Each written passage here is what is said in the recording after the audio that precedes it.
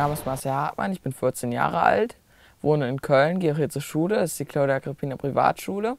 Ich möchte hier auch Abitur machen und auch studieren. Das ist dann Aeronautik und der Kartsport ist mein Hobby. Ich betreibe Kartsport seit 2006, bin dann auch in Kerpen zweimal Meister geworden. Das ist einmal im Bambini B 2007 gewesen und einmal im KF3 2011. Ich bin dieses Jahr noch KF3 gefahren, bin auch schon umgestiegen auf KF2 bei der Air Racing Kart bei Mario van Wörden und fahre dieses Jahr KF2 schon, um mich nächstes Jahr perfekt auf die Saison vorzubereiten.